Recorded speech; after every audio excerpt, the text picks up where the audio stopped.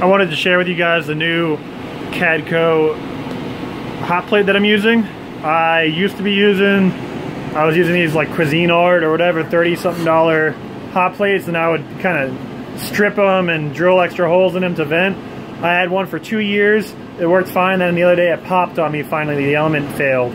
So I said, what the heck, I've already proven the concept of the PID. Kind of when I first funded it all, I didn't want to go spend you know, $130 on a, on a hot plate, but now that I know that it works and it's a good concept, um, I went out and bought a good Cadco. It's about $120. I'll put the link below in the description. Uh, if you can support the channel, buy it through using my affiliate links.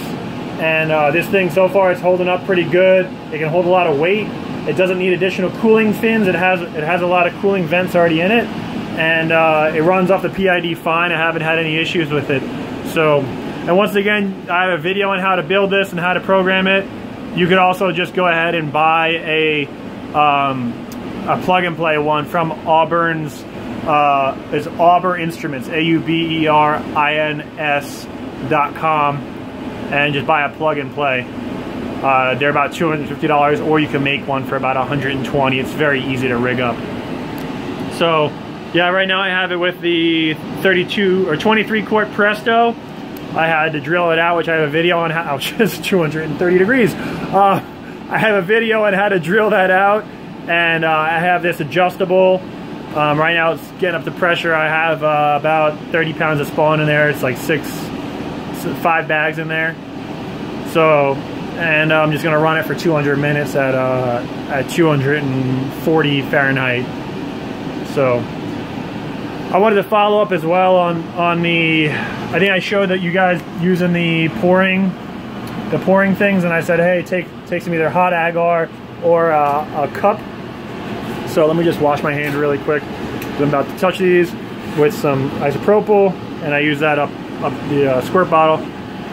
But uh, what I do is when, the, when you're done pouring them, you can take one of these, which pressure cooked along with the agar, that was in the the uh, pitchers, the autoclavable pitchers, and I do this for the next round. For next time I, when I need to use agar, I'll have these three. I can just pop them open. They're pretty much canned.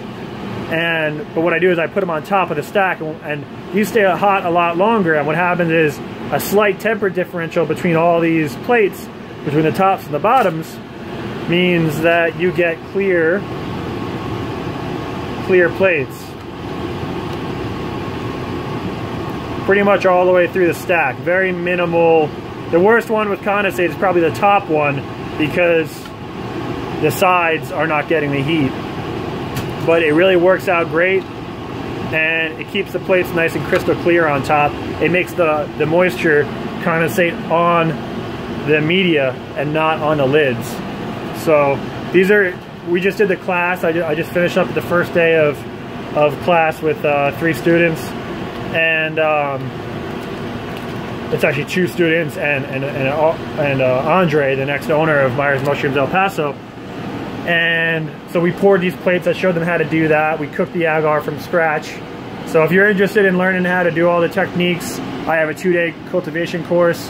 Um, go ahead and message me or email me if you have any questions about it. And I should be having one in the coming months. Hopefully, we'll see with the whole transition of Myers Mushrooms changing locations. But yeah, that little trick works out pretty good for keeping the, the condensate off the lids. It also saves up table space because the other way that people do it is they'll take the, the plate and they'll go like this and it exposes the, the agar to the flow hood. But then you have to have room for, you know, 10, 20, 30, 40 plates. And I don't have that much counter space or at least raised up counter space um, to work on.